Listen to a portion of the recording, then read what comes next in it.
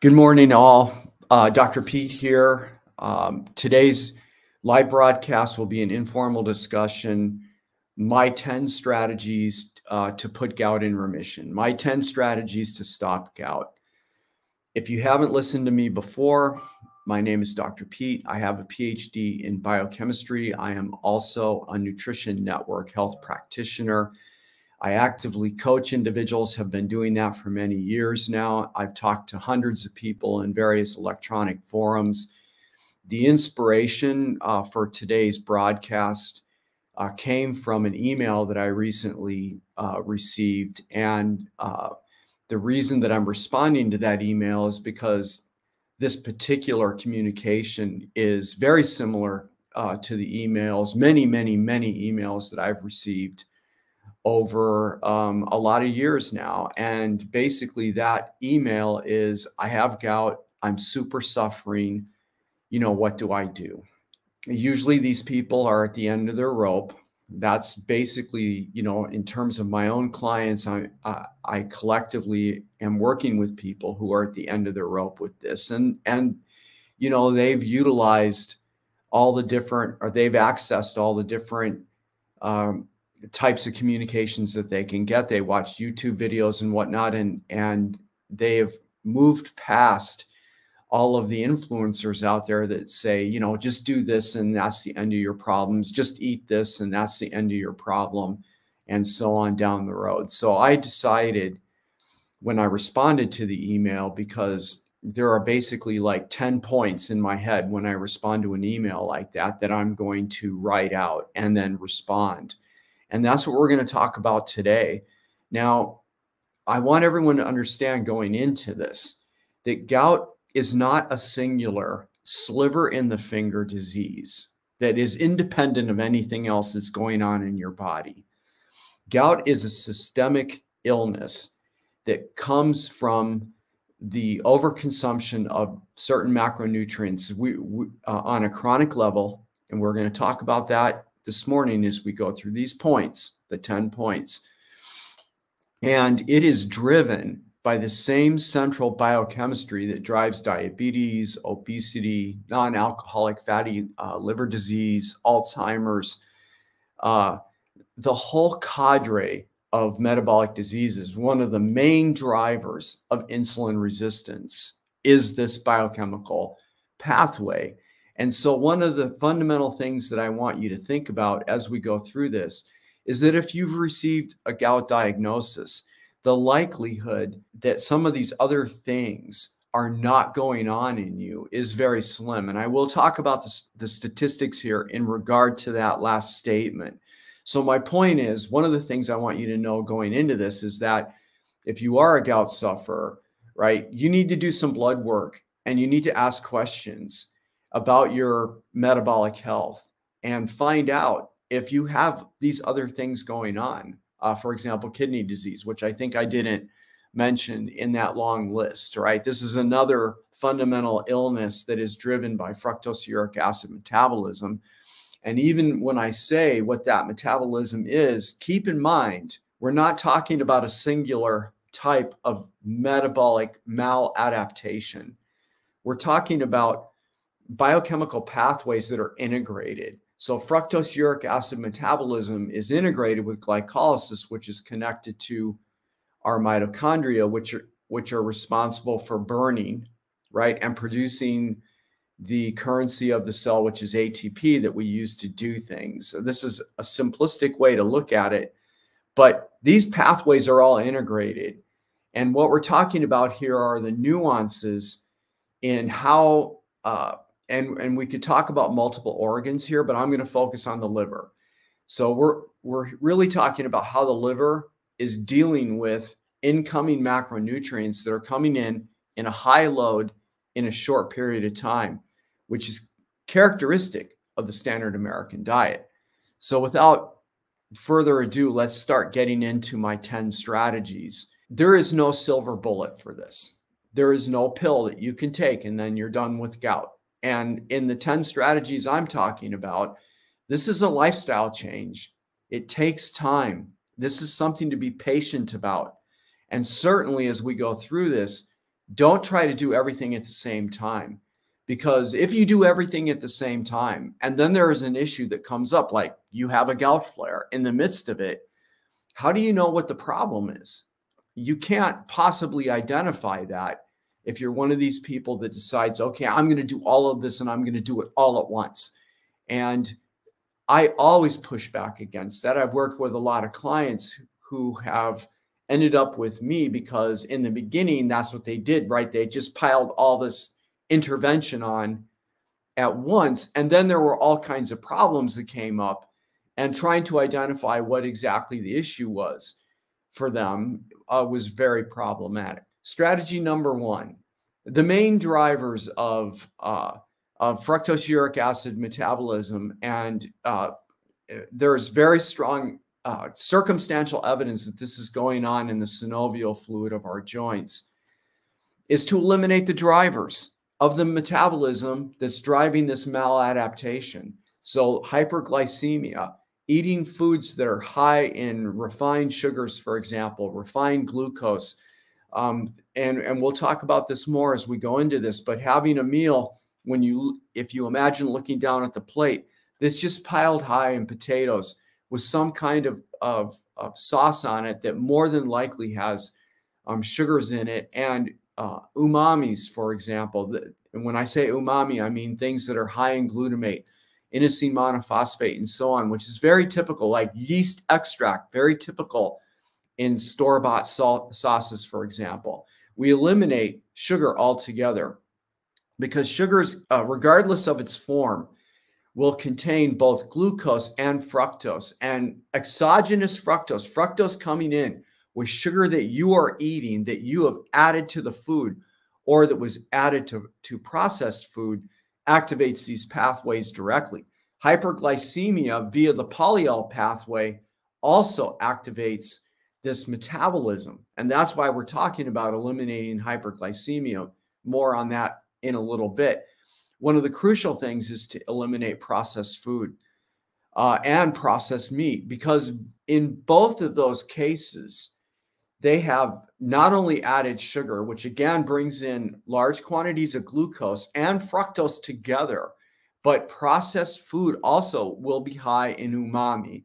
This, this usually, uh, when you look at labels, because the food processors have learned that people are triggered by MSU, monosodium glutamate, right? They see that and they're like, okay, I shouldn't be eating that.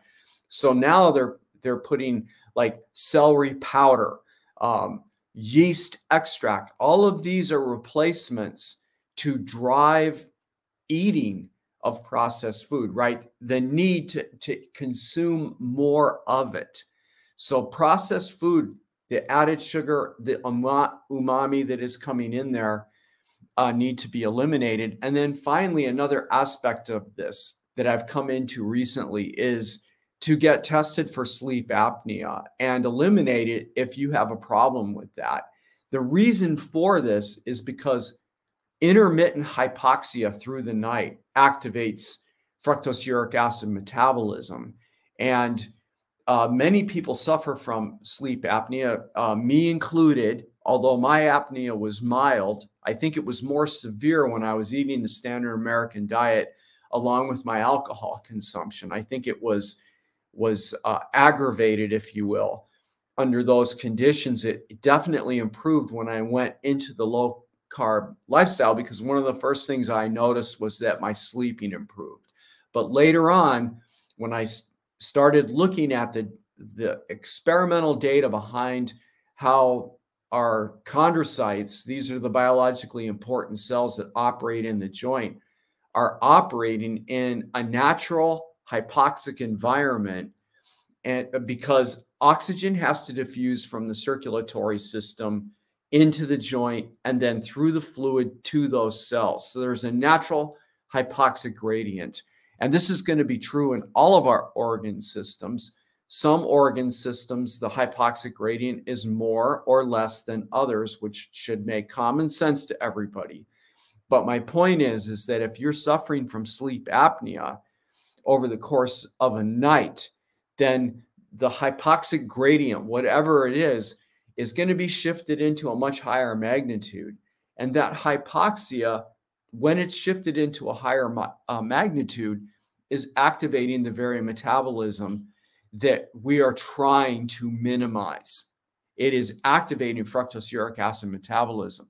So, uh, no matter what the situation is, if you're a gout sufferer, you should get tested for sleep apnea and see what's going on with this.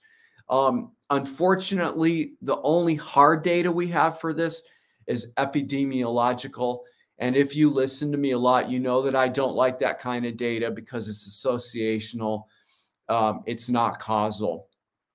But because I'm very confident of the biochemistry, which is well defined in the in our joints, and we are dealing with a hypoxic environment here. I think it's a very intelligent thing to do to get sleep tested if you suffer from gout. And if it comes back that you uh, have sleep apnea, uh, then you should get treated. And there's a variety of treatments out there. Um, try to find the one that is least invasive. All right, let's move on. Uh, point number two you're going to shift to a, a, lifestyle which is whole, real food. Now, there's a lot of really like top notch influencers out there that talk about this, like um, Dr. Lustig, for example. Uh, moving to a whole food, whole, real food uh, eating lifestyle is super important. And the reason that it is is because processed food on any kind of level uh, has been manipulated. And the, the thing that we're concerned about that opens fructose uric acid metabolism, uh, predominantly in the liver, the kidney, also, I believe, in the chondrocyte. Like I said earlier, there's a lot of circumstantial evidence for this that is clinical and also in vitro in the test tube, looking at the cellular uh, environment. The processed food has been optimized for sugar and optimized for other compounds like glutamate, inosine monophosphate, and so on. And even in the whole food environment, you must realize, for example, because this always comes up, I'm always asked these questions in email. Well, what about fruit? Well, look at the fruit and use common sense. This stuff has now been bred to be uh, higher in sugar and larger, you know. And I have yet to meet uh, any client uh, that I've worked with over the years that isn't eating a substantial amount of this stuff chronically every single day, year in and year out.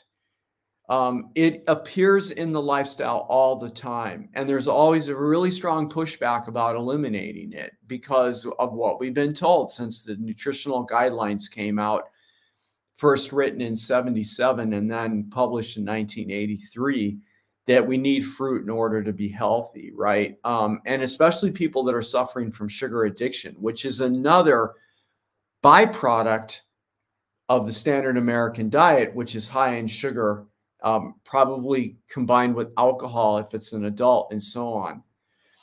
So a whole uh, a whole real food uh, eating lifestyle is super important here. Buying buying food that is food, cutting it up and eating it. We're going to eliminate the grains, the potatoes, and the sugar. One of the main reasons we're doing this, or the main reason, is because we need to decrease um, hyperglycemia. And uh, the reason we need the hyperglycemia to come down, people, is because it activates the polyol pathway, especially in combination with alcohol and salt. Also, the input of umami from the processed food, right? This uh, hyperactivates polyol. And then the fructose uric acid metabolism, big spike in uric acid in, in the liver. The liver pushes the uric acid out into the circulatory system, where it makes its way to all of our other organs, including the brain and the kidneys, the, and, and eventually into the chondrocytes, right? The synovial fluid uh, diffusing down a concentration gradient into the synovial fluid. Then that soluble uric acid can interact with the chondrocytes. We can get a crystallization issue going on there. Then we activate the macrophage. Uh, um, that has uh, very similar biochemistry, but but higher in magnitude than in the chondrocyte, and we can get the cascade into a gout flare. So we need to reduce uh, the foods that generate high levels of glucose. The processed food and sauces. Sauces are super bad because they are going to have added sugar in them, most likely.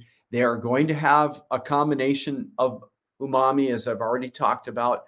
Commercial salad dressings are super bad. I tell people when, when I go into these boutique supermarkets without mentioning names, and I go to the salad dressing shelf, it's amazing how bad they are. Stay away from the sauces, cut out the processed food.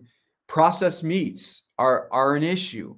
And I know in the ketogenic environment, we hear this all the time. Well, you know, uh, there's the sausages, there's the bacon, and there's all this stuff. And I'm not saying that you can't eat that stuff. I do eat bacon and I do eat sausage, but I I source it locally. I would not ever, I try to avoid at all costs buying that kind of stuff in a regular supermarket because it has been bastardized.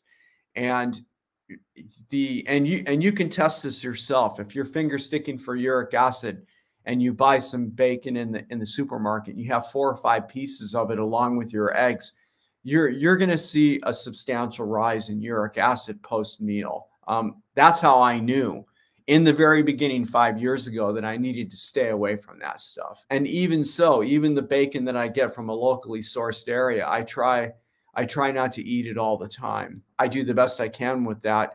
Remember later in this, and when I get to another strategy that I'm going to talk about, we will talk about biomarker monitoring because if you monitor your uric acid, you can determine by measuring finger sticking uric acid before a meal and then after the meal what the effect of that meal is having on your uric acid because if you're getting a, a liver response, that uric acid is going to be pushed into your circulatory system within about a half an hour for sure, for sure.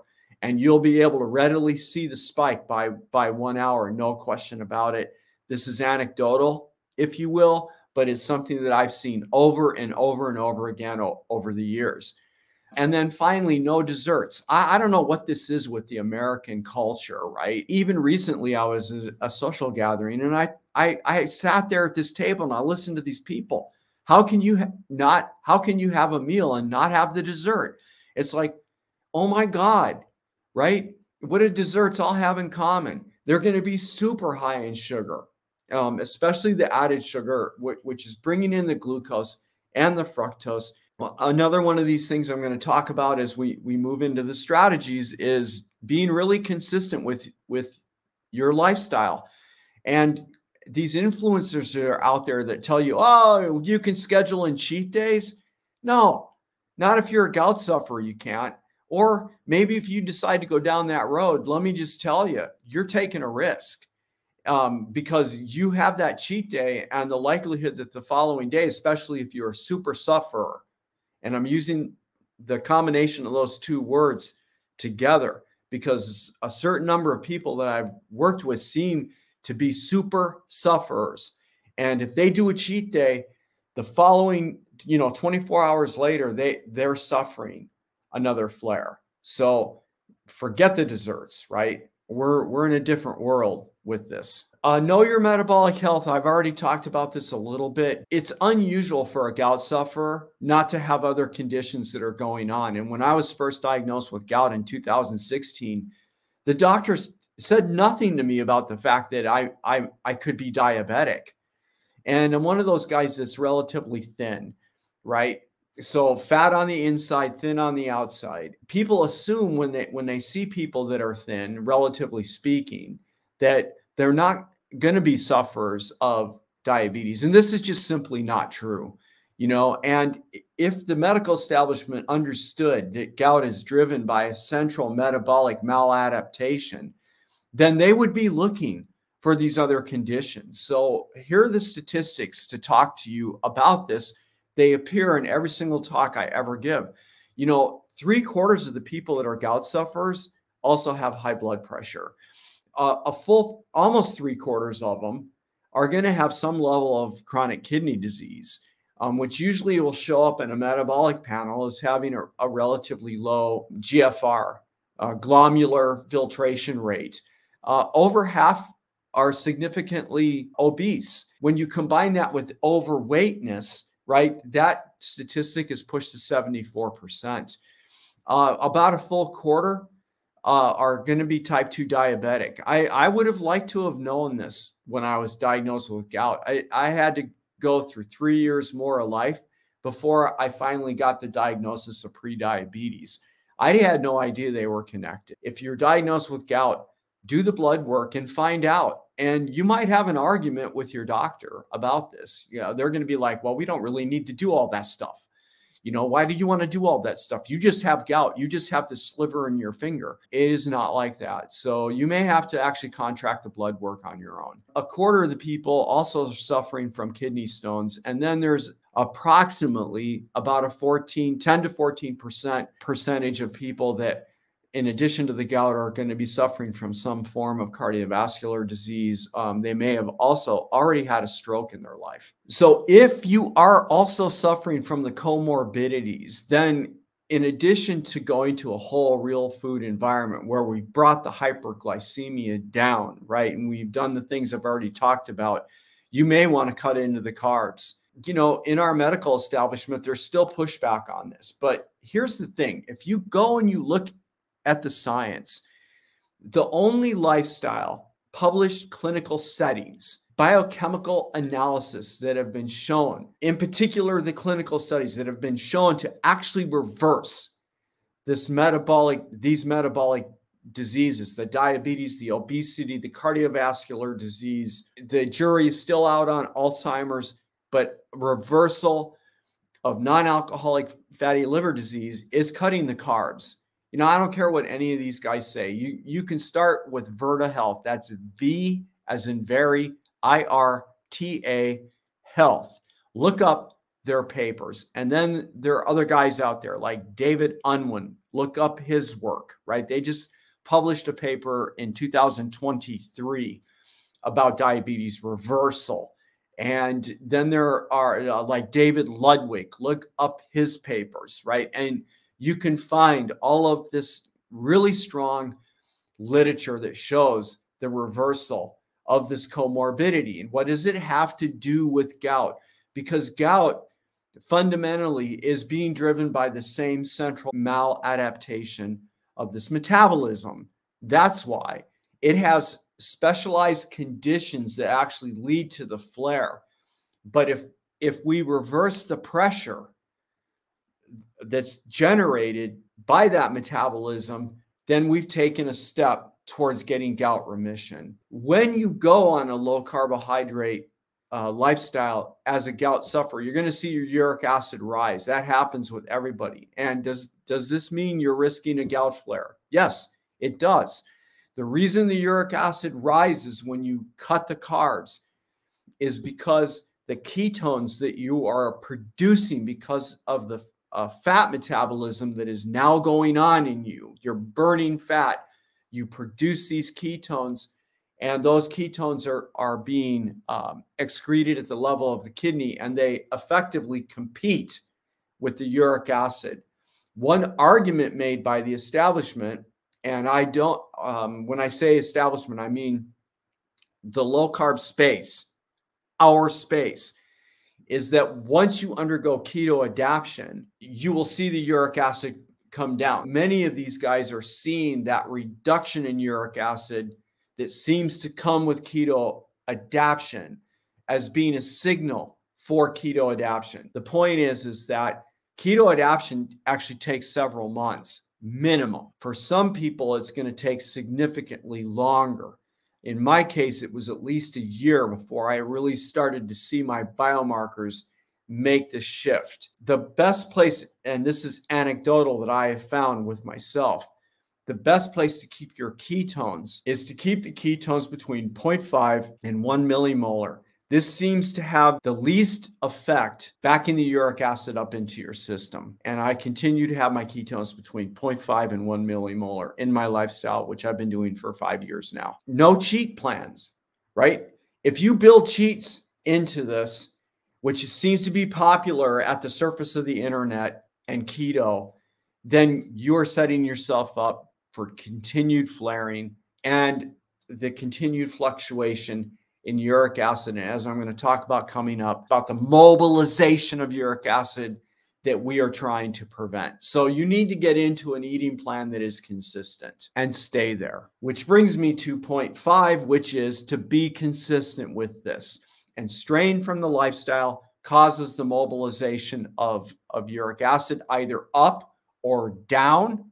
The directionality of the uric acid doesn't seem to matter. Remember that uric acid in itself is not the cause of gout. And and this is something that the medical establishment has missed.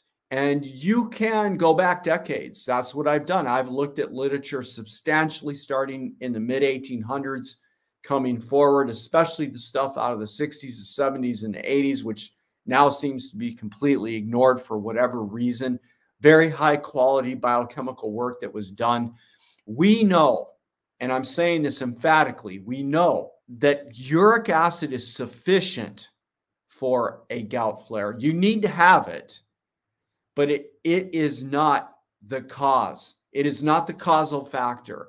We also know that both soluble uric acid and crystalline uric acid are involved in the gout flare, both of them, and the relationship between them. Lastly, how they're interacting in this cellular environment is the key thing, the key piece that's missing from understanding how some of us end up suffering from gout. These are specialized conditions that exist that are probably driven a combination of genetic factors. This is the unknown thing how these pieces come together. Protein factors that are interacting with the uric acid, the, the enzymology that's behind this, and those factors coming together are probably being set up for genetically because we know that not everybody in the world suffers from gout. But we also know that a substantial number of people, 43 million people minimum here in the US, are hyperuricemic. They have high uric acid but only a certain proportion of those people are ever going to suffer from a gout flare. So it's my assertion that the gout flare is, is, happening because of specialized conditions that we know involve uric acid, right? The uric acid has to be there. But again, and it's a driver, but again, it can't happen without these other factors. And it's the other factors that are currently unknown that are involved in this cascade that leads to the gout flare. And then my last point about number five here is that gout loves inconsistency uh, is important to you from two points of view. Number one, the individual that's sick and tired of the whole business decides that they're just going to go whole hog and do everything at once and throw everything at the problem, right? You want to avoid doing that. Get the lifestyle first, then address other issues and be and the second part of it is be super consistent because it's where the inconsistency comes in that causes the mobilization of the uric acid, either shifting up or shifting down. And I'm going to talk more about this uh, coming up when we address urate lowering drugs. Keto adaptation is super important. This is not a one off. For those of us that suffer from metabolic diseases like diabetes and gout, unfortunately, we have to think about living a different lifestyle. This is the way it is. Cannot expect to do the things I'm talking about and do them for three or four months and then go back to the way, however, it was that you were living before this. If you do that, the diabetes is going to come back and uh, and more than likely you'll be suffering from gout flares you know once again. Keto adaptation takes a while um, and there's actually evidence uh, out of the Noakes lab and also other guys um, um, uh, jeff volek and steve phinney who have looked at elite racers. And we know for example that even at 20 months with those guys there's still some of those racers that are eating a nutritional a ketogenic diet that are still undergoing adaptations. So, you know, on the surface of the internet, we hear, oh, you know, you just you, you go ketogenic for a couple months and, and that'll be it. You're keto adapted or fat adapted. Sometimes they'll use that term.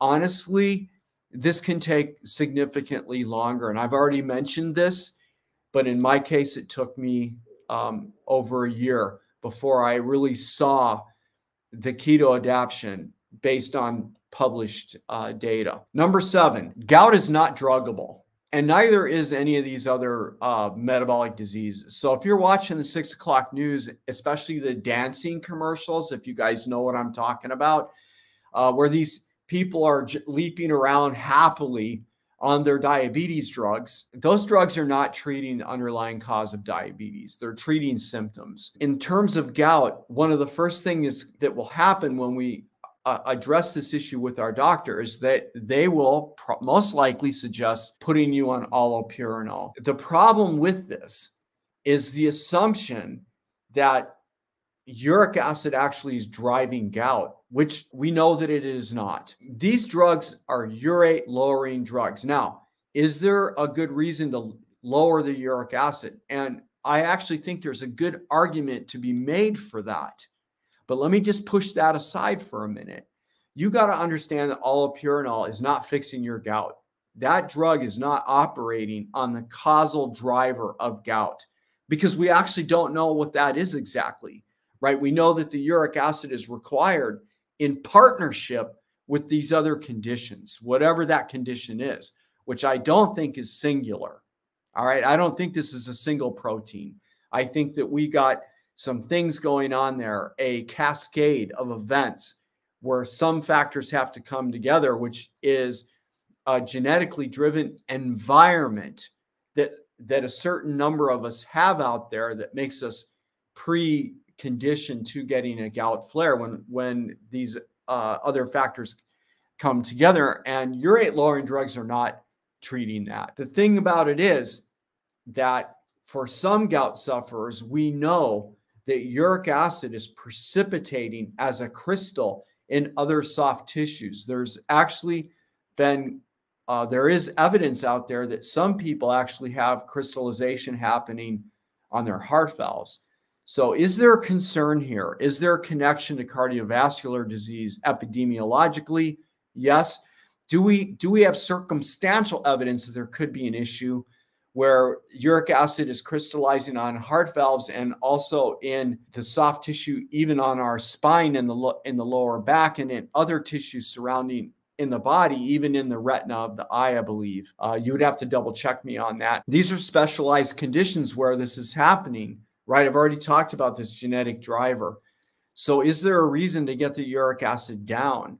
And I think there's a good argument to be made for that. And everyone who's a gout sufferer has to take this seriously. Remember that a urate lowering drug is not treating the underlying cause of gout. And in addition, as I've already pointed out, it is the mobilization, the fluctuation in uric acid that is connected to driving the flare directly. So that fluctuation can happen moving up in a spike or moving down. So when you go onto a urate lowering drug, you can have gout flares. And there's strong evidence going for this, going way back in the literature.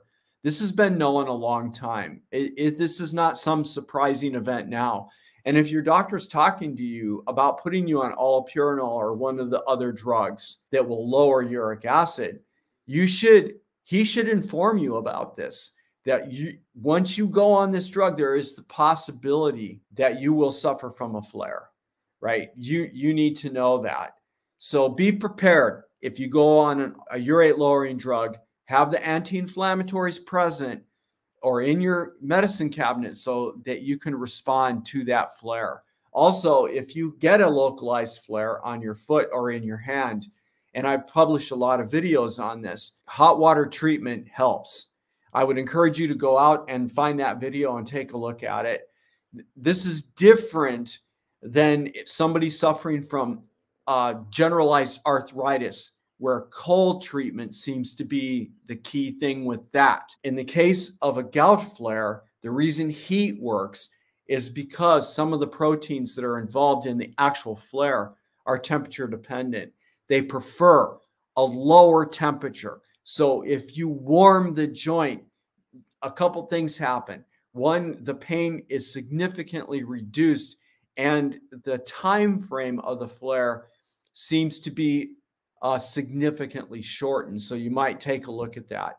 Number three on my uh, strategy, number seven here is anecdotally from testing these substances myself that tart cherry, quercetin, and also the amino acid glycine can uh, reduce uric acid. Are these unique compared to the formal urate lowering drugs? And the answer is no when it comes to the fact that when the uric acid comes down, when, when it is lowered, you are susceptible to a flare. So it's the same rule of thumb with the tart cherry, the quercetin, and the glycine. When you start that, that you may suffer from a flare.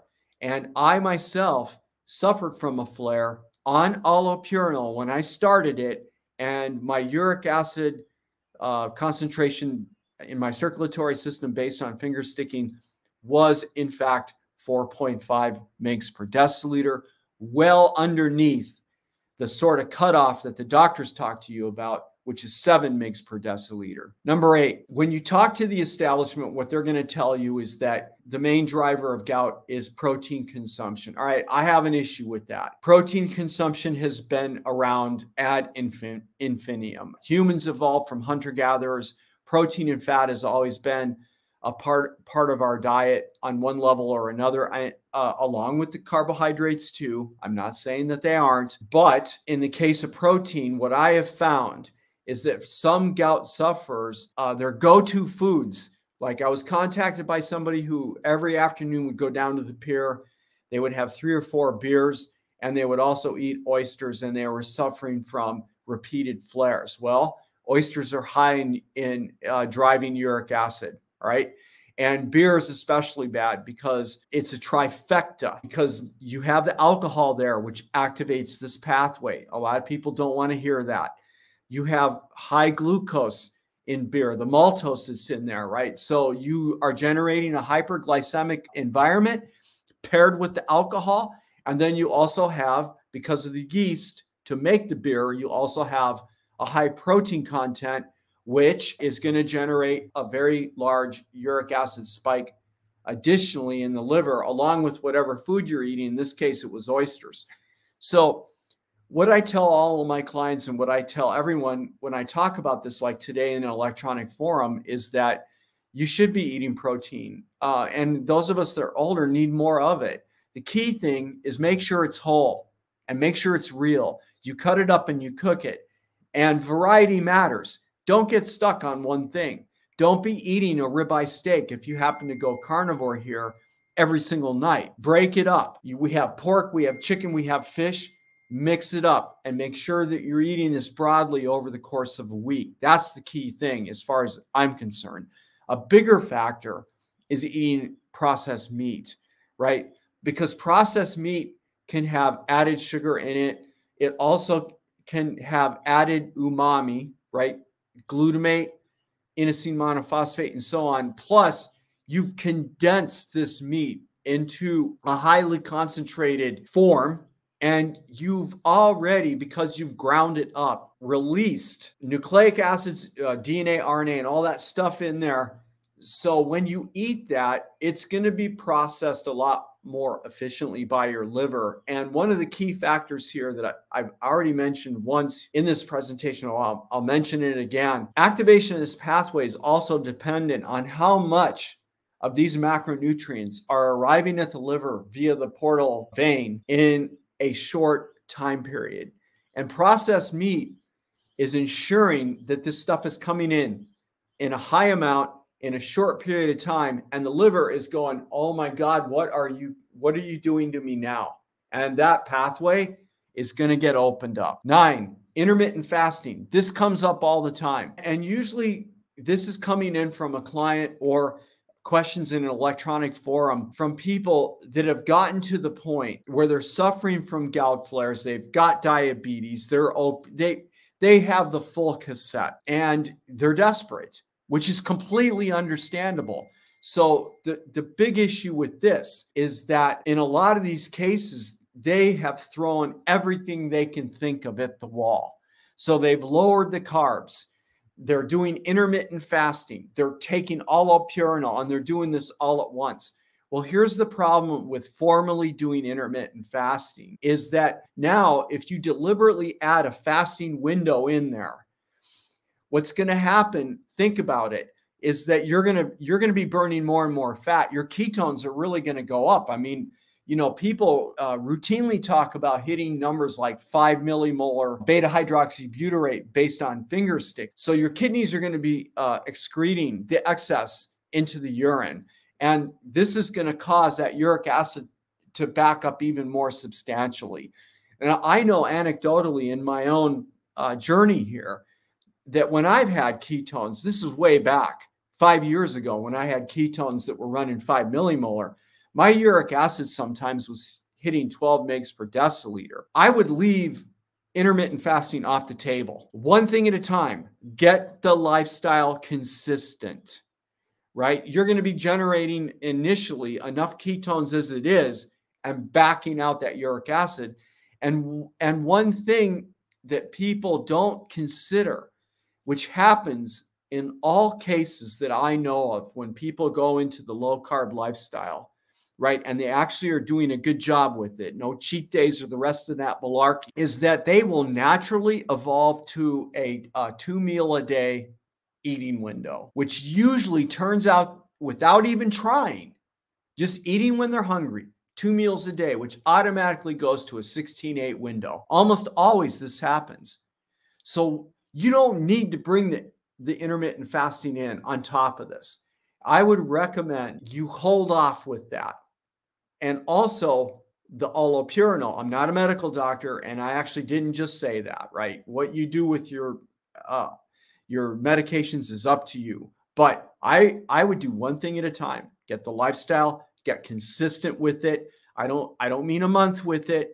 I mean three, four, six months, and then start looking at these other issues and not bringing them in all at once. This is crucial. One thing at a time.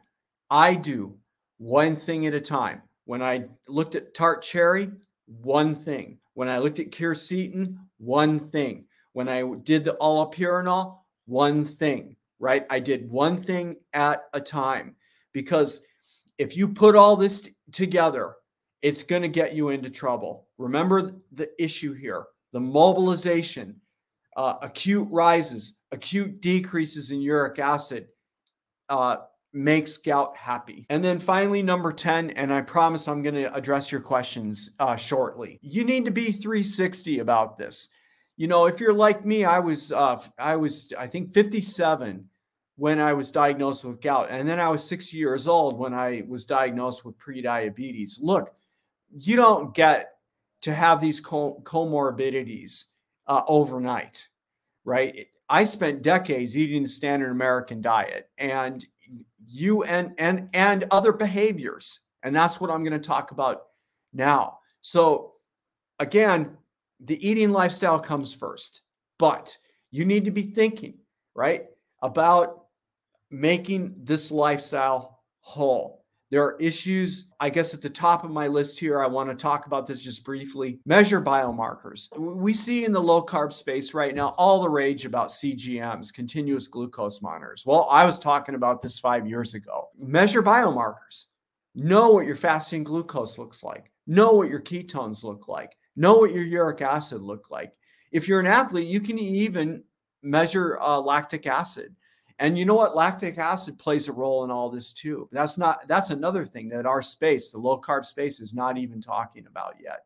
Um, and maybe they won't. I don't know. You can know what your biomarkers are. You, it's so easy to measure weight. And I understand. I work with people that are sugar addicted. I understand the issue with even bringing a scale up, but you can routine, routinely step onto one and you can track your weight loss that's going to happen in this lifestyle, right? Do you need to do it every day? Well, if you have a psychological issue with it, no, of course you don't. Maybe do it once a week, maybe do it every two weeks. I don't care what you do with that, but get some data, right? And then there's blood pressure, right? 74% of gout sufferers have high blood pressure. When you go low carb, that blood pressure is going to start to come down. So measure it and you can track what's going to happen with that. You can see your blood glucose normalize. It, it's amazing how quickly it happens. You can track your ketones and you will know when you start to keto adapt because they're going to stop banging the ceiling and they're going to start becoming more consistent from one morning to the next. For, as an example, sleep is so, uh, super important to gout sufferers. You need to know whether or not you have sleep apnea because if you do, it's driving these hypoxic environments. Remember, this is a systemic problem. This is not a sliver in the finger.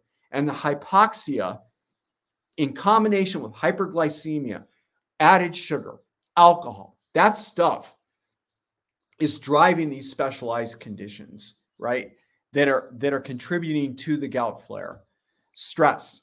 Does stress have something to do with this? Uh, I, I am not prepared to talk about this in detail yet, but it is clear cut that cortisol and insulin uh, have a role to play here because we know that fructose uric acid metabolism, when it's activated, which is going to be when these macronutrients reach a certain threshold, that hyperinsulinemia and downstream insulin resistance is driven probably most likely at the level of the liver.